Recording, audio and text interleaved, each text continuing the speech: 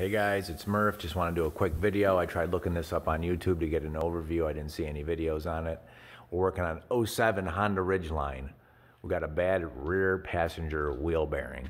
Now this is the all-wheel drive model, and I didn't see anything on there, so it's not a hub bearing assembly you can buy. It's just the bearing itself you put in the hub. I'm just going to do a quick overview. I can't remember everything that I did or used, but I'll try and give you a quick rundown. I think the main sockets I used were a 15 millimeter, a 17 millimeter, and I believe a 20 something. Obviously, you got the big nut for the CV shaft. That's a 36 millimeter.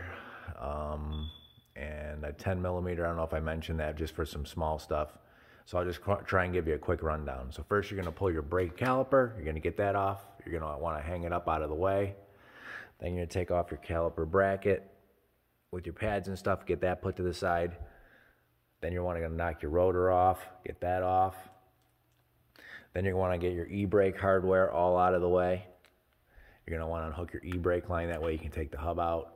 If there's a way doing this in, I'm not sure if you have the equipment to do that, but I, I take the hub out.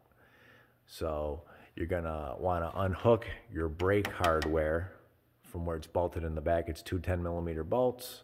You're gonna wanna get your speed sensor out. Mine wouldn't come out, so I had to cut it out and then I popped it out later. Unhook your upper ball joint.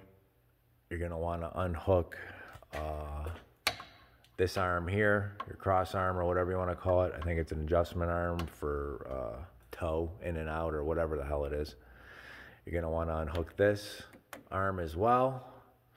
You're gonna want to unhook your trailing arm has the four bolts in it that bolt to the hub. You're going to want to unhook that. And then you're going to have to maneuver your brake line around. There's a clip on this right here. So as you can see now, I can move it more. You're going to want to take that clip out.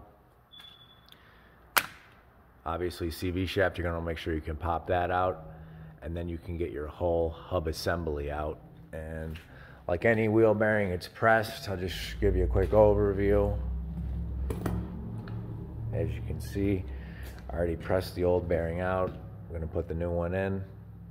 I couldn't get my dust shield off because the bolts on the backside go to these rivets and the rivets are spinning. So I'm just, I just left the dust shield on, put the new bearing in, and then the installation is reverse removal. Like I said, guys, just a quick overview of what you had to do. I don't remember everything exactly thing for thing. So just a quick rundown. Mainly you got your trailing arm, upper ball joint, this arm here, and this arm right here. Unhook your brake stuff, your speed sensor, and your CV shaft. And that'll be it, guys. Just a quick one. Don't get mad at me. Don't get me uh, get mad, say I didn't show every little thing. I'm just trying to do a quick overview. I just didn't set up a camera. I will see you guys in the next one.